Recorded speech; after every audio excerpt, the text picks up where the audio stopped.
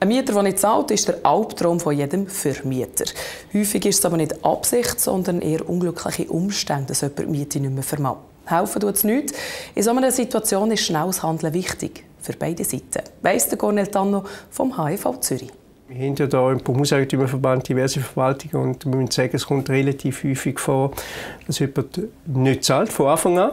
Das ist das Worst-Case-Szenario. Man hat den Mieter und zahlt von Anfang an nicht. Oder die Lebenssituation des Mieter ändert sich. Er wird zum Beispiel arbeitslos oder er lebt in einer Scheidung und hat hohe Alimentenzahlungen zu machen und dann kommt er in eine Zahlungsnot hinein. Das gibt es ja. Ein Mieter kann also nicht zahlen. Was dann? Da rate ich natürlich einem Mieter schon, auch vielleicht mal über seinen Schatten zu springen und auf den Vermieter zuzugehen und halt mit offenen Karten spielen und sagen, lass, ich habe jetzt momentan einen finanziellen Engpass, wie können wir das miteinander lösen? Und meine Erfahrung ist, der Vermieter bietet in der Regel sehr wohl Hand wenn der Mieter auf ihn zukommt.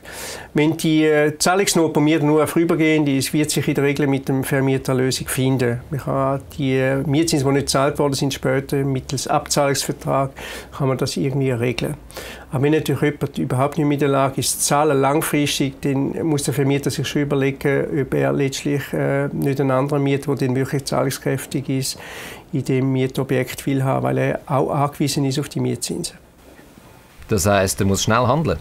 Der Vermieter muss ein gewisses Prozedere durchlaufen. Er muss zuerst den Mieter mahnen, schriftlich mahnen. In dem Mahnschreiben muss er dem Mieter eine 30-tägige Zahlungsfrist ansetzen, muss in dem Mahnschreiben klar deklarieren, mit welchen Mietzinsen der Mieter konkret im Rückstand ist und muss im gleichen Schreiben auch noch androhen, sollte in der Frist nicht gezahlt werden, dass die außerordentliche Kündigung ausgesprochen wird. Und dann zieht der Mieter einfach aus. Wie sieht die Praxis aus?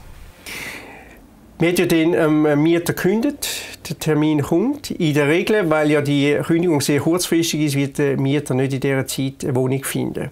Was macht denn der Vermieter? Der Vermieter kann dann nicht selber vorbeigehen und den Mieter vor die Tür stellen. Das kann er nicht.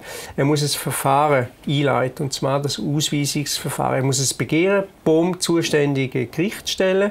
In der Stadt Zürich ist es das Audienzrichteramt. Dort tut ein Begehren stellen. Dann wird ihn das Gericht auffordern, zuerst mal einen Kostenvorschuss zu leisten.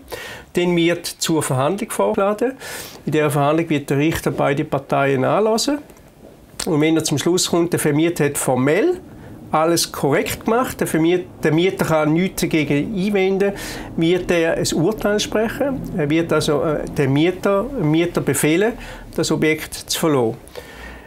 Wenn er das dann nicht verlässt, innerhalb der Frist, die ihm der Richter allenfalls nochmal gibt, dann darf auch dort der Vermieter nicht selbstständig tätig werden. Er muss mit dem Entscheid als Stadtamtsamt oder als Gemeindeamtsamt gelangen und die auffordern, die Ausweisung vollstrecken zu lassen.